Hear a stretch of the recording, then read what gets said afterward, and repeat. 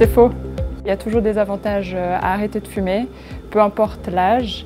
Euh, avant tout, il faut savoir que le tabac n'a pas uniquement des effets au niveau euh, pulmonaire, il s'agit également d'un facteur de risque conséquent au niveau des maladies cardiovasculaires comme les attaques cérébrales ou les crises cardiaques. Et d'arrêter de fumer permettrait de diminuer la mortalité et à 10 ans de rejoindre la mortalité des non-fumeurs.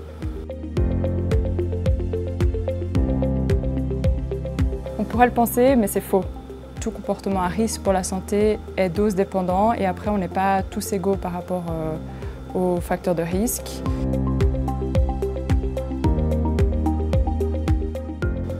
Malheureusement c'est faux. L'association des oestrogènes donc dans la pilule contraceptive et du tabac augmente le risque de maladies thromboboliques, donc de thrombose et également d'infarctus chez la femme et ce indépendamment de l'âge.